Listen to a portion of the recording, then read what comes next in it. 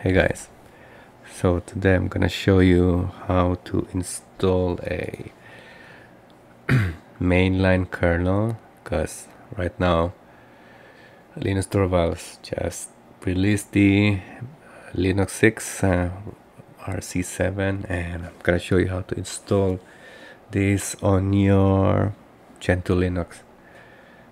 And in order to do that you have this um, package called git sources.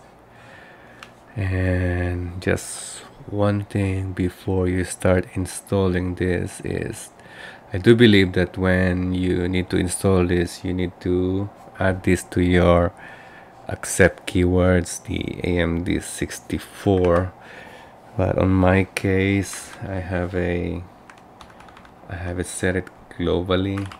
Um, let me just show you.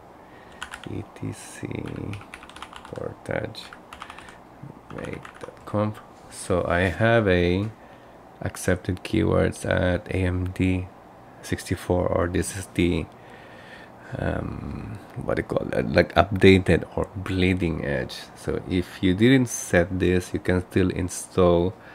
However you need to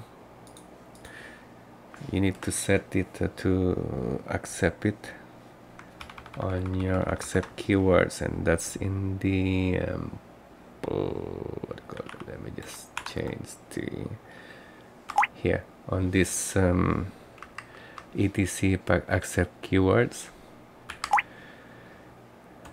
And I believe I have it here the accepted so so you need to add here a the name of the git sources. That's the syskernel git sources. So syskernel git sources. Sources. And then you need to add this to your package accept keywords now I'm not gonna do that because I'm I'm already it's already accepted on my uh, global.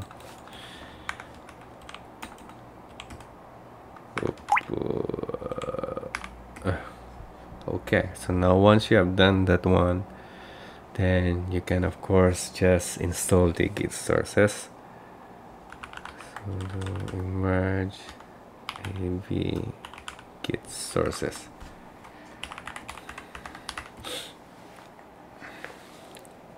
and then just one thing before this symlink yeah, you should not add this because this will automatically create a symlink to your directory for your linux. This is on the on this directory because if you go to this global use flags right click and then you can read here about the symlink this is the force kernel. Enables to automatically update.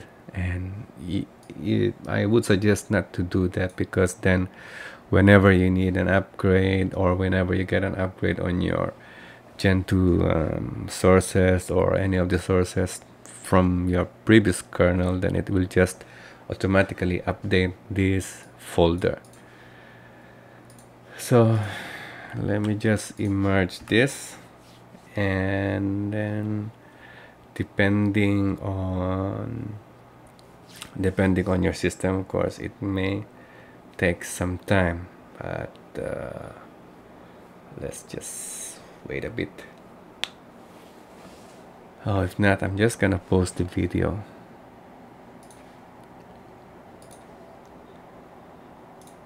okay it's back. Now it's an it's added also to my world favorites files. You will see here some messages. And yeah I mean I just ignored that one but it's better if you read it. So once you have completed installing the git sources if you go into your uh, eselect is you select report no uh, kernel list you will see here that this asterisk is now on this previous one because I didn't create the symlink so we need to create a symlink going to this one and we need to set it and by doing that uh, kernel set 3 so if we go back again now it's now pointing to this um, to this kernel that just downloaded. Just couple of things before I mentioned that one. So if you go to the website it's actually it tells you here to change the kernel sources. See after you choose after you install then change that one. Uh, for this I'm not actually following entirely this uh, this page or this wiki but it's it's uh, it's there for some doubts if you want it, if you need to clarify some doubt so once it's already um, uh, selected then I need to change to the uh, Linux directory. And before you uh, create I would suggest you make a backup of the config file. So I have it here. I have a folder called kernel configs uh, so if we change to this directory for example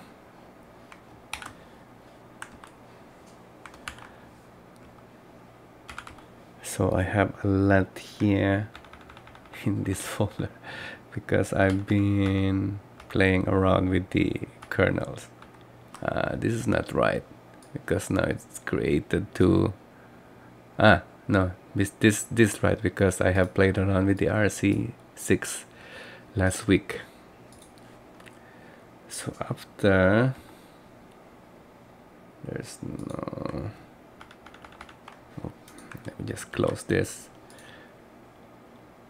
Cannot start no blah blah blah blah blah. Uh, let me just put one here. Ah, never mind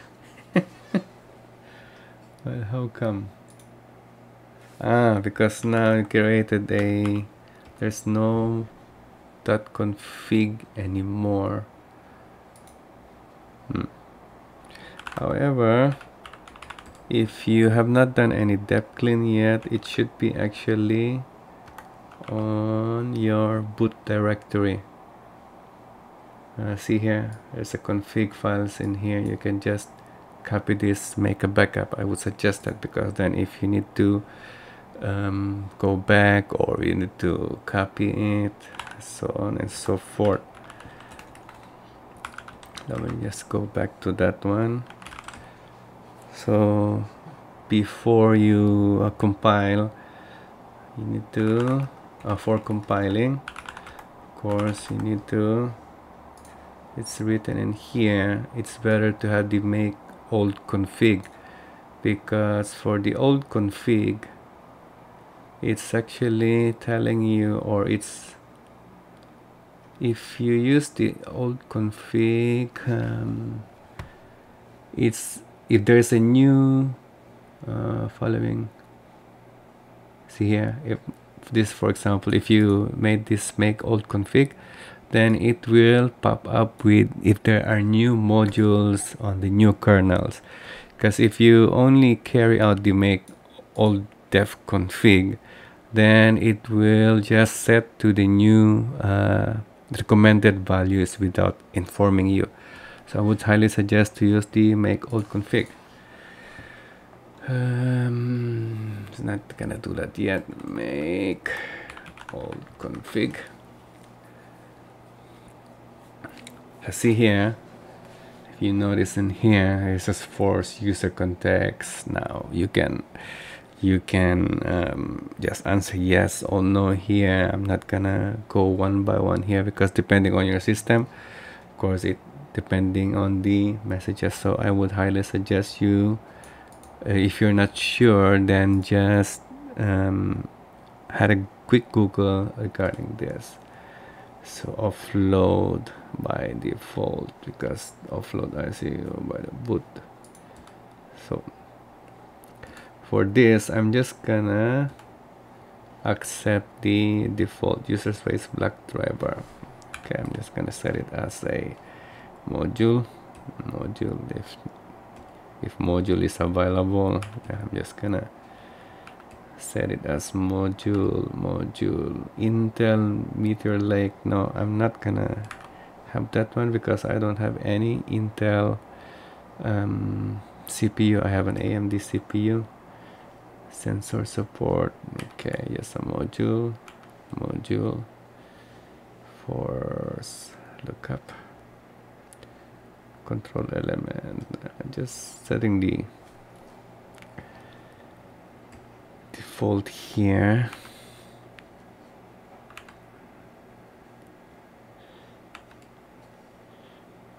Mm, no. Uh, no.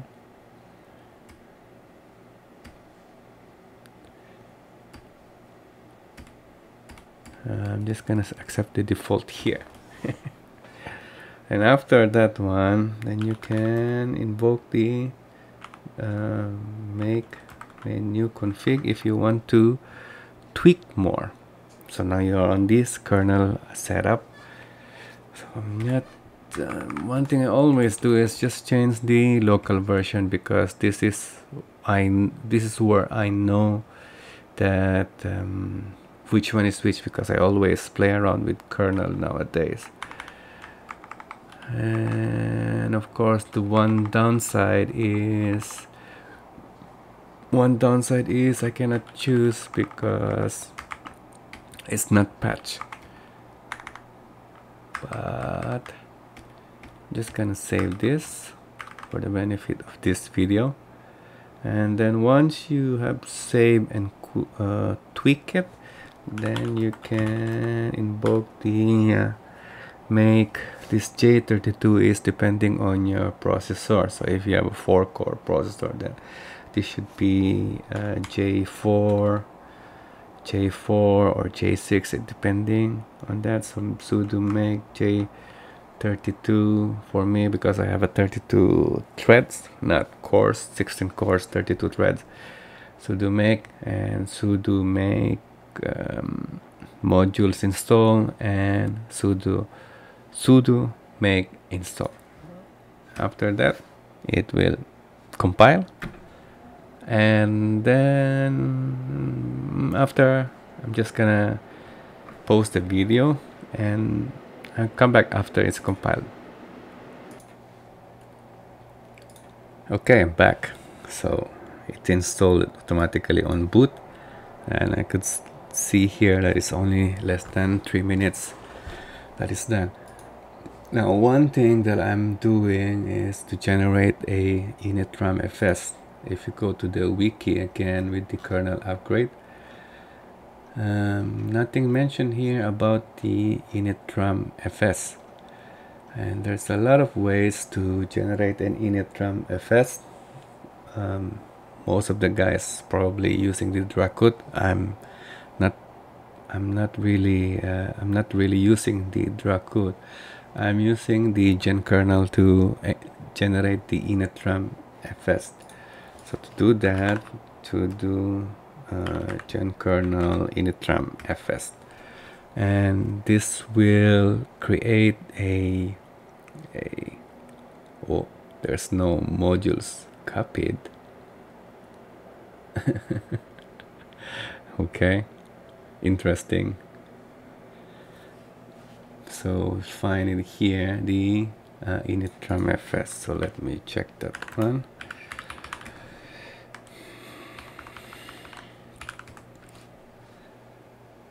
So it's actually here.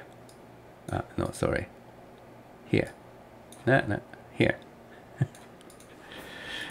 Okay and after that one then you need to update your bootloader. Uh, I'm using a um, GRUB so. And after that of course if it's already it's already generated it's already there. So just gonna show you which I'm using right now is I'm using the 5911 at the moment. So I'm gonna reboot I'm gonna stop the video and I will come back to show you. Alright so I'm back I just put in the terminal here. So name R so it's on. Now I am on this kernel.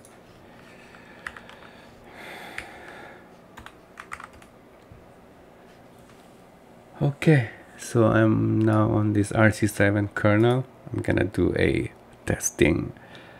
And I'm just gonna use this for now. So I hope this video helps you. If you have other ways how to upgrade or how do you upgrade your kernel then make sure to leave a comment. If there are some easier ways or I'm doing it wrong please um, leave a comment as well. So if you like the video you can please like if you haven't subscribed please subscribe and share the video. Oh have a good day. Until next time. Bye